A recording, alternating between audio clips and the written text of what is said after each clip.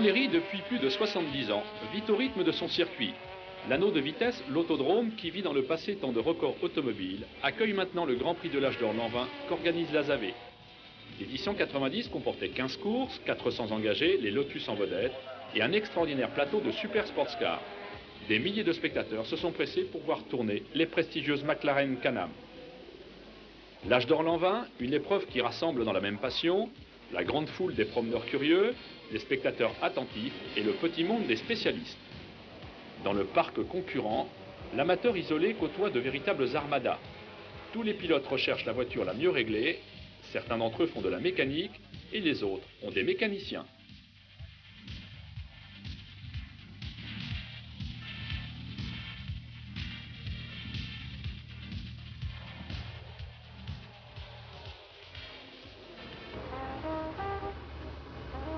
Pour la première des 15 courses, au volant de la Bentley numéro 3 de Peter Bradfield. Ce pilote anglais, comme de nombreux autres, a rejoint Monnery sur la voiture avec laquelle il court. L'épreuve est ouverte à tous les modèles d'avant-guerre, mais les Bentley sont les plus nombreuses.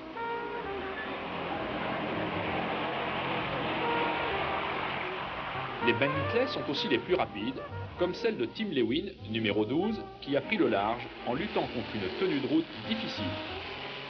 La numéro 8, c'est un monstre.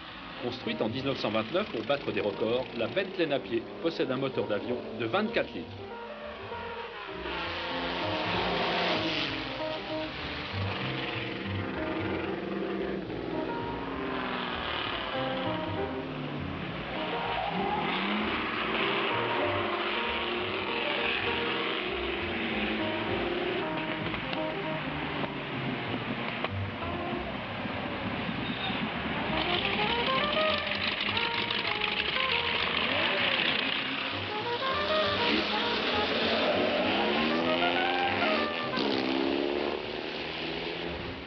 Bentley sont très lourdes, plus de 2 tonnes. La direction est dure et négocier les chicanes n'est pas une mince affaire.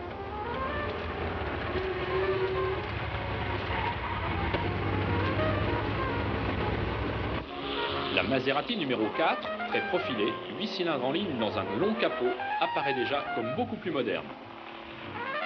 Superbe aussi cette Talbot dans le virage du Faille.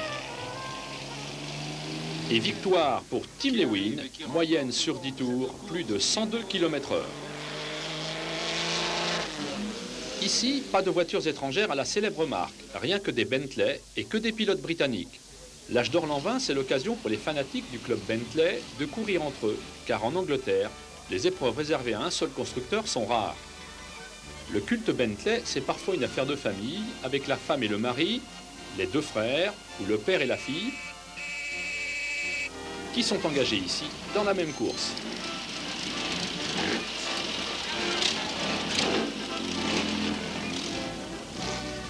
Aux premières places sur la grille de départ, Tim Lewin, vainqueur du plateau avant-guerre, et Peter Morley sur la Napier. Départ canon pour Tim Lewin, suivi par la Napier. Les Bentley de compétition, comme cette numéro 12, ont bien évidemment pris le dessus sur les modèles de tourisme plus lourds qui dépassent les 2 tonnes.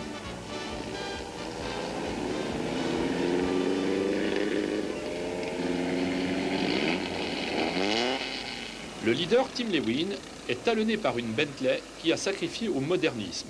Mark Adam Stacy, le pilote de la numéro 6, n'a pas hésité à chausser sa Bentley de pneumatiques plus larges, beaucoup plus performants.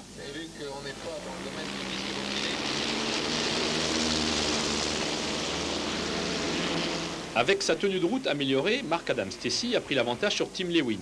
La différence de trajectoire au virage des deux ponts se passe de commentaires. Les Bentley étaient construites par différents carrossiers sur la base d'un même châssis et du même type de moteur et aucune ne se ressemblait.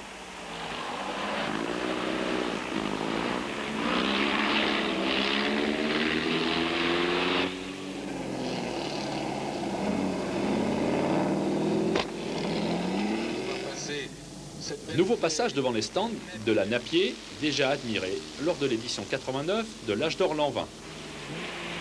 Joli passage groupé des Bentley modèle compétition, dont celle du vainqueur, la numéro 6, de Mark Adam Stacy. Les Bentley, c'est la classe, vue de l'intérieur et de l'extérieur.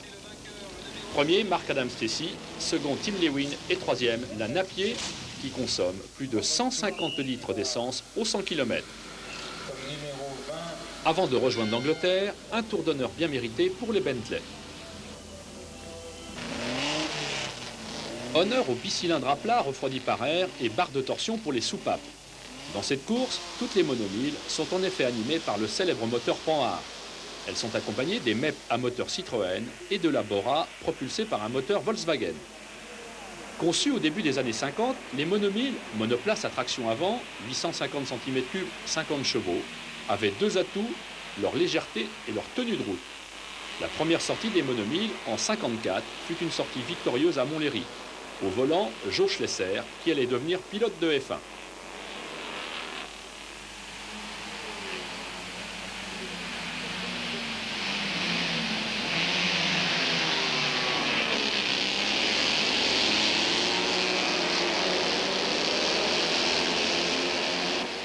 Plus moderne, avec sa propulsion arrière, la MEP a pris le large, mais les monomiles s'accrochent.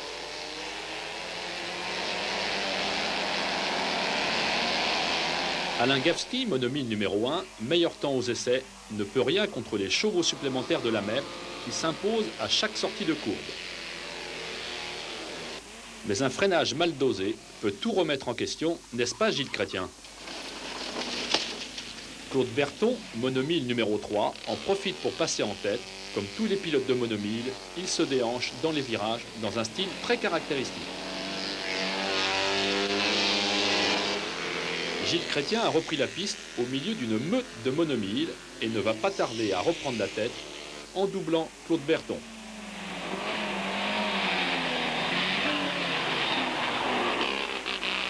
La MEP l'emporte devant les monomiles de Claude Berton et Régis Mercadier. À plus de 106 km/h de moyenne, les deux vainqueurs sur leur petit bolide ont tourné aussi vite qu'une Jaguar de série.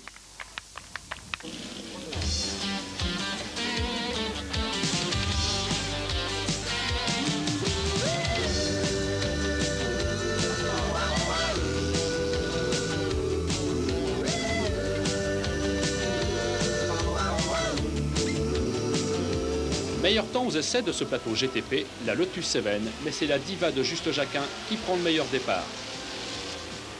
Dès le premier passage aux deux ponts, la bagarre fait rage entre la diva numéro 7 de Juste Jacquin, la Lotus Elan numéro 5 d'Yves Boll et la Seven numéro 11 de François Bergès.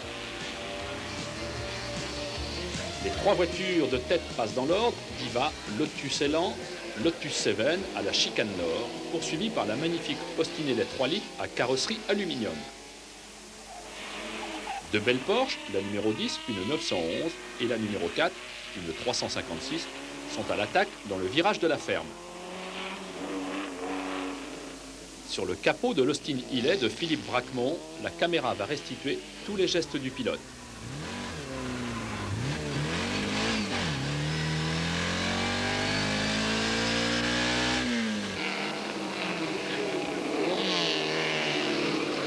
François Bergès, Lotus 7, est passé second et talonne juste Jacquin sur sa diva. L'Austin Hillet d'Éric Poirot.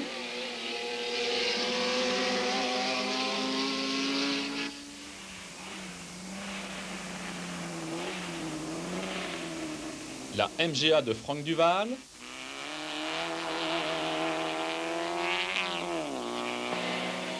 Et la Porsche d'Éric Van de Viver font le spectacle.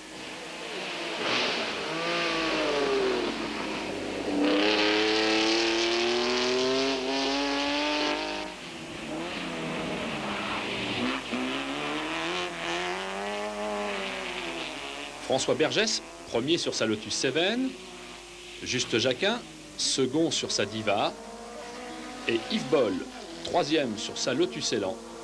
Les positions ont changé en tête. Le cinéaste Juste Jacquin, après avoir goûté à la Coupe Renault 5, est un inconditionnel des courses de VOC. Depuis plusieurs années, il court sur sa Diva animée par un Ford Cosworth 1600. Tradition respectée pour cet Austin Hilet qui chauffe sans dommage, tandis que la bagarre entre Juste Jacquin, Diva numéro 7 et Yves Boll, Lotus Elan 51, s'intensifie avec des freinages limites.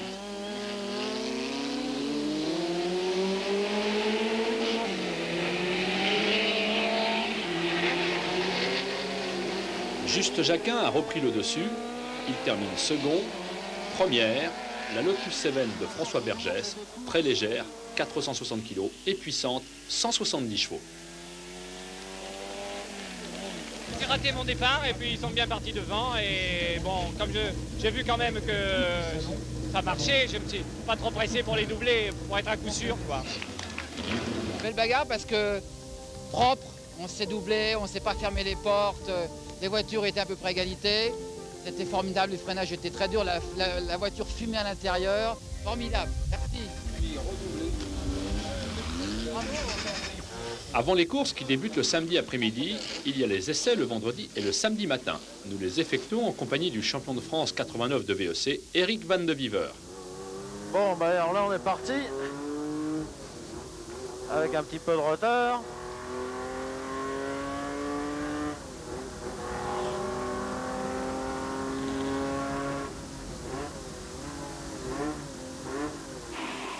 Le temps réalisé lors des essais détermine la place sur la grille de départ. Alors, pas question de lever le pied, il faut attaquer.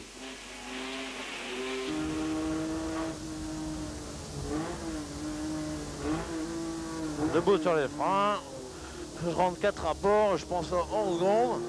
J'essaye de le prendre, je peux vous assurer que c'est pas évident. Sur les 3405 mètres du circuit de Montlhéry, les difficultés sont nombreuses, virages et chicanes, où la roue intérieure de la Porsche décolle complètement. on attaque la ligne droite descente.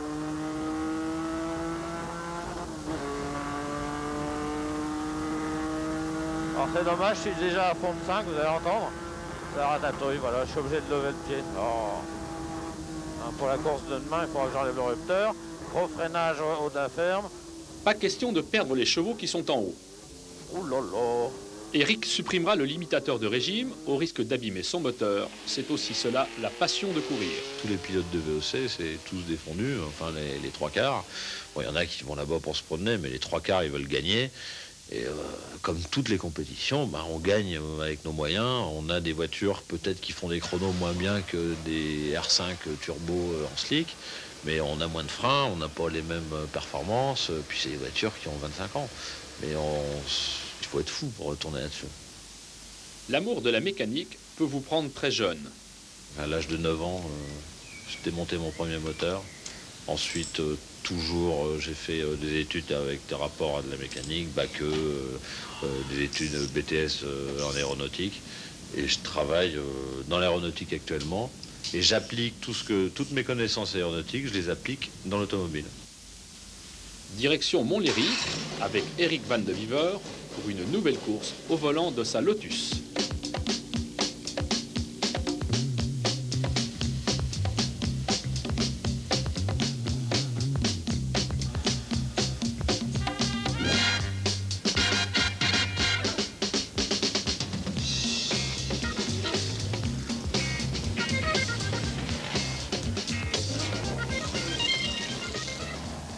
Première ligne pour la Jaguar de Jacques Colibet et la Lotus Elan d'Eric Van de Viver.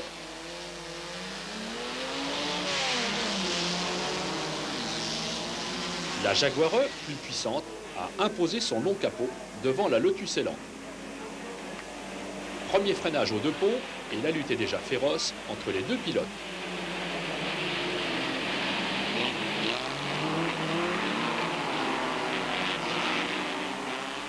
À gauche, Jacques Colibet, Jaguar numéro 38, 1200 kg, 260 chevaux. À droite, Eric Van de Viver, Lotus Elan numéro 36, 700 kg, 140 chevaux. Ils sont deux pour une seule première place. Les poursuivants, Alpha ou Austin sont déjà très loin.